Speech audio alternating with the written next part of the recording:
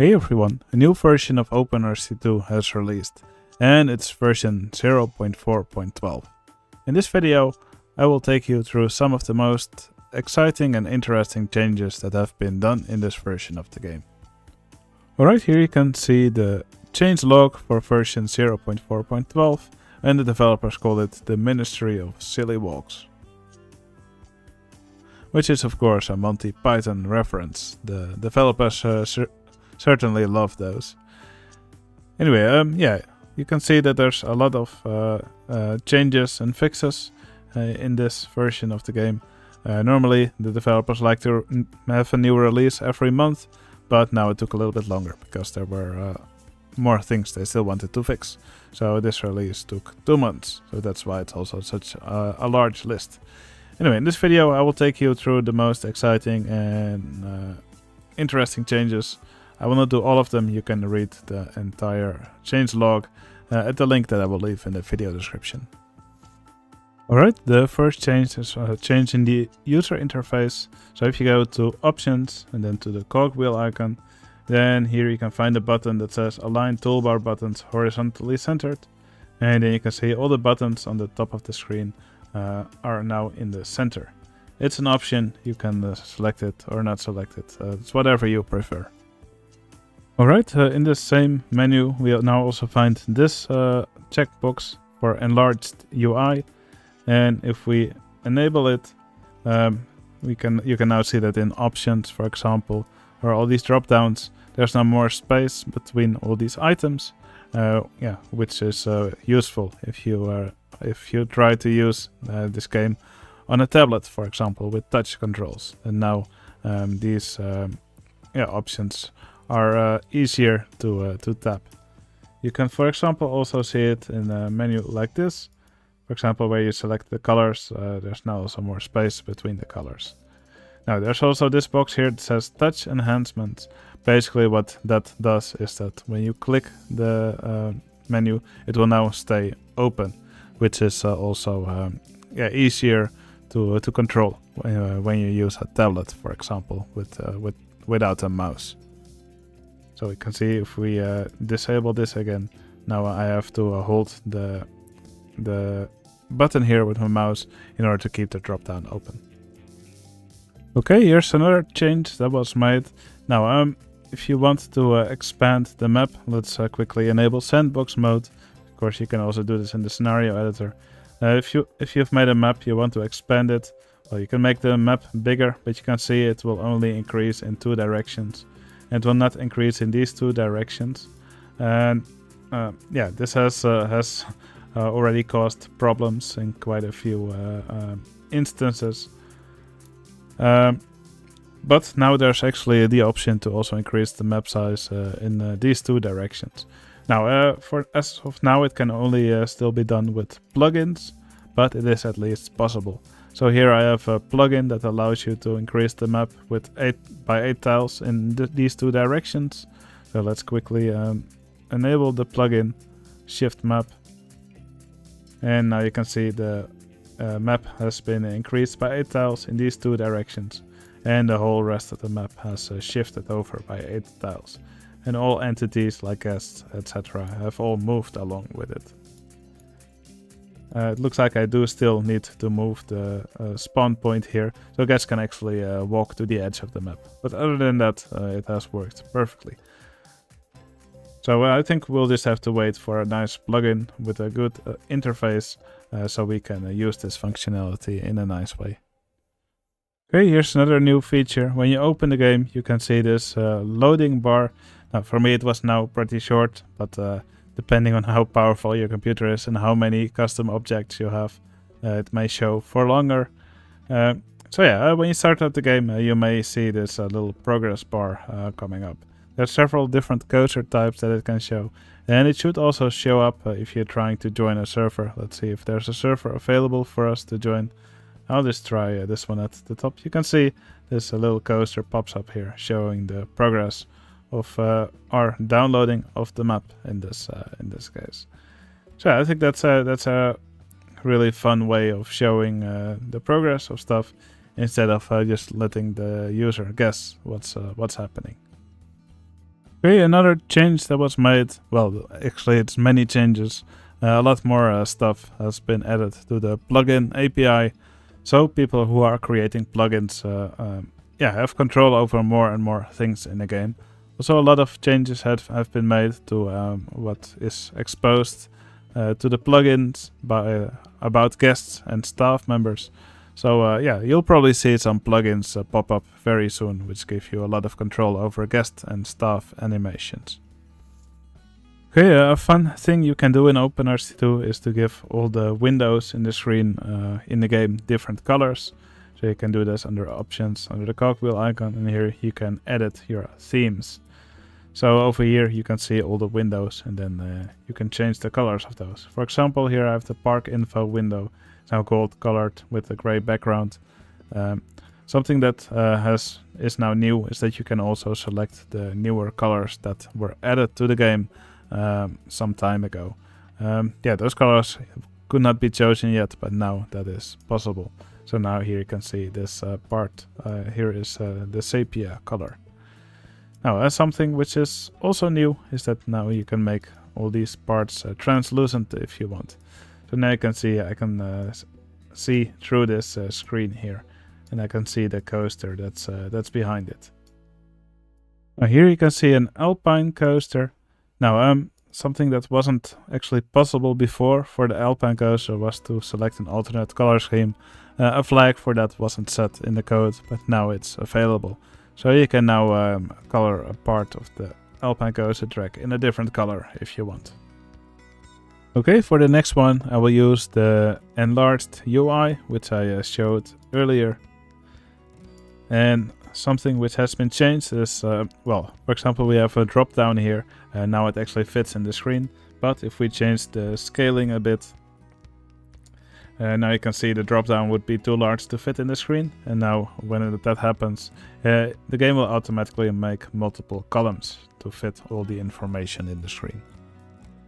Okay, um, something else which was changed is that the um, map screen has uh, had some improvements. And the rendering speed of the map has been improved quite a bit.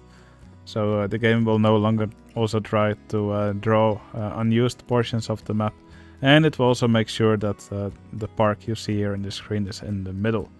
And it will try to fit as much of the map as possible uh, in the screen.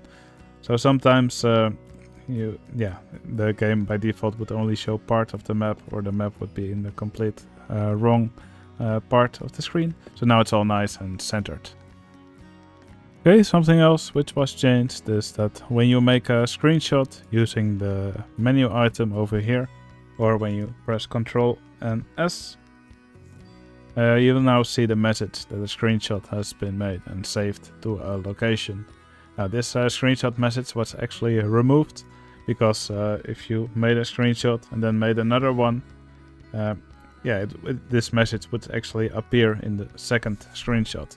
But now uh, um, the message disappears right before the second screenshot is taken.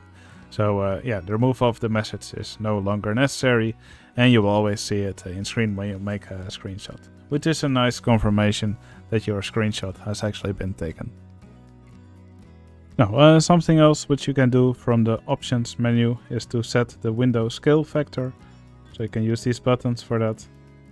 And uh, previously, when you did that, the options window would fly all over the place. Uh, but now, uh, when you press this button, the options uh, window will stay in the center of your screen. Alright, the next point is another nice quality of life change. So um, yeah, in many windows in OpenRCT2, uh, if there's a value you can change uh, with, uh, there will often be a plus and a minus button next to it. Um, usually you can also change those values with the scroll wheel. Now, um, this functionality has also been added to plugins. So, uh, yeah, if we have this train here now, vehicle 1, and I want to change the max speed, previously I would have to press the plus uh, a lot of times, but now I can just scroll up with my mouse wheel. Okay, here's another more subtle change that has been done to the game. Uh, if I now go to the options or to this menu and I go to load game, you can see that the um, game in the background now is paused. And will stay paused as long as this uh, window is open. And same goes for the save menu. You can now see the game also stays paused while the save game window is open. Okay, something else which was changed is that uh, normally when you right click a track piece, uh, the game wants you to interact with it. So you go to the menu uh, where you can uh, uh, build or delete uh, the object or continue building. But um, if you now make uh, objects see-through, for example, through the menu, we can make uh, rides see-through or vehicles or any or paths. And when we do that, uh, when I right click here, you now no longer select the track piece. So see-through objects are now just ignored, as if they've been made completely invisible. Now, for the next change, uh, OpenRCT2 allows you to place uh, invisible queues. It's one of the OpenRCT2 uh, official objects. Uh, previously it just showed an empty image like this, uh, but now um, it has actually been changed, so it uh, shows you uh, some guests, which I think is a nice change to uh, distinguish between the normal invisible path and the invisible queue. Okay, next up, uh, a change has been made to some of the weather. Now currently it's sunny in Mount Deurklink, but through the cheat menu we can make it um, snow now in a normal snow, it's uh, still uh, the guest behavior is still the same. It doesn't change anything. But if we change it to heavy snow, uh, guests should start taking out their umbrellas, and they will treat it like it's raining. And the same happens uh, in a blizzard, which is just heavy snow with thunder. Okay, we're now back in the main menu. And if you go to select a scenario, you can now see a change in the Wacky Worlds and Time Twister um, scenarios. So now just like the normal scenarios, uh, the names of these scenarios have gotten the same names as the park names. So you will see, uh, you might see some different uh, scenario names than you may have been used to seeing. There's also mixed opinions uh, on this change, but it does make everything more consistent. Another change that has been made is that the time twister scenarios, uh, just like the wacky world scenarios, have been reordered um, to more fit the yeah how difficult they are. So some scenarios may have been moved to other categories, and they have been reordered uh, from easy to more difficult. Okay, another UI change has been made. So previously, if you wanted to select a patrol area for a handyman, for example, um, yeah, you would not actually be able to see uh, the selection that uh, of your mouse uh, if an area was already selected uh, for a patrol area by another handyman. But now you can see that the UI where my mouse is is just a little bit lighter, so you can actually see the area that you are currently selecting. Something else was changed in the construction window. Um, something which was done in a previous update was that uh, you can could hold uh, the delete button to delete more sections of track in one go. The same goes for the build button. Um, but you couldn't move through the track yet with these arrow buttons uh, by holding it. You still had to click many times, but that has now been changed. So if I hold this forward button, you can see we move through the track uh, multiple sections at a time. And same goes for reverse. So I no longer have to click it many times to uh, move through the track pieces. Some plugins can actually change the price of rides for you uh, to make, for example, to make them as optimal as possible. But there was actually no uh, bounds on the price that the plugin could set. So uh, they could even set your uh, yeah your ride prices to a negative amount, and there were no bounds for that. Uh, but that has also been changed in the last release version.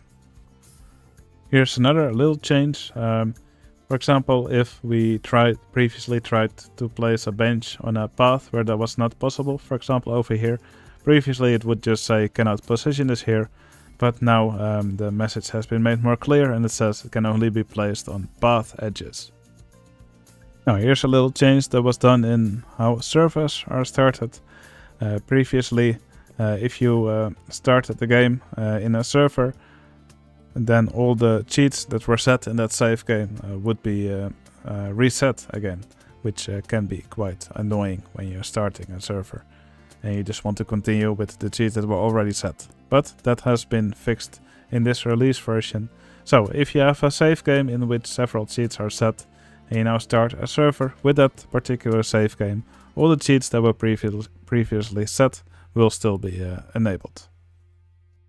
Now another small fix has been made in the hovercar vehicles. Uh, previously in the text it said that the capacity for these vehicles was 2 passengers per car, but they can in fact only fit 1 passenger, so the text has been uh, fixed. And the same goes for the school bus vehicles, I believe it's one of the tram vehicles from uh, the expansions. In the text it said they could hold 10 passengers per car, but that has been uh, changed to 6. Okay, and finally, uh, for many large objects from the expansions, uh, the wall boundaries were actually really weird, as you can see in some of these objects. But um, for most of them, that should have now been fixed. Alright, those were the most interesting and exciting changes for OpenRCT2 version 0.4.12. Uh, you can read the full changelog in the link that I will leave in the video description. Now, um, if you thought this video was uh, was interesting or fun, um, yeah, just uh, uh, leave a like on this video. It would really help out my channel. And let me know in the comments what you think of these changes. And uh, yeah, hope you enjoyed the video. I'll see you again in the next video. See you later.